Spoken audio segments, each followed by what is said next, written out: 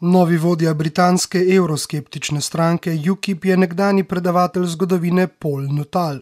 Za položaj vodje se je boril še z dvema kandidatoma. Izbrani kandidat in novi vodja neodvisne stranke Združenega kraljestva je z 62,6 odstotkov glasov postal Paul Nuttall. Nuttall je obljubil, da se bo še naprej boril za izstop Velike Britanije iz Evropske unije ter da ima UKIP pred seboj rožnato prihodnost, ampak je zato potrebna poenotena stranka. Nigel Farage, ki je z mesta vodje odstopil po referendumu o brexitu junija letos, pa je v poslovilnem govoru obljubil, da ne bo oviral novega vodstva stranke.